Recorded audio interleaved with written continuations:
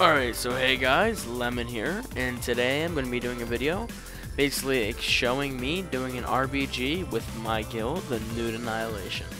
So I am the flag carrier as Bloodspec, and this is me just doing a 3 cap. We're actually 3 cap this team, and we pretty much demolished them. So I made a super fast play, fast motion, as I should say, but it was a good game. We went 11 and 1 that day. And we're doing a lot more. I should be getting 2200 RBGs this week very easily. And I should that's that's my goal for this week and then I'll be getting 2200 in arenas sometime this this month, I should say. I'm not focused on right now because I have a lot of guild stuff to take care of and um I can I'm probably gonna little bit later, like in a week or something. I, I haven't really tried for it yet. But anyway, guys, so blood videos, blood death knight, tank, well, flag carrying videos. How do you guys like them?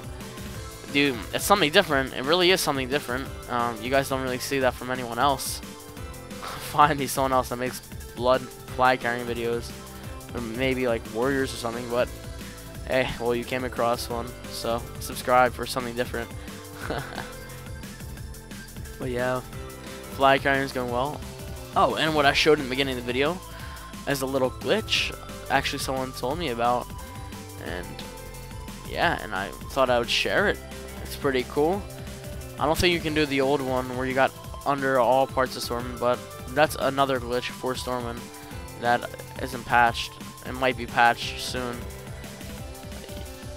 but yeah I just wanted to make this video basically showing me. So in a quick quick super super paced super fast motion RBG and how do you guys like them and yeah so we won that game and stay tuned for more RBG videos and other stuff. Alright guys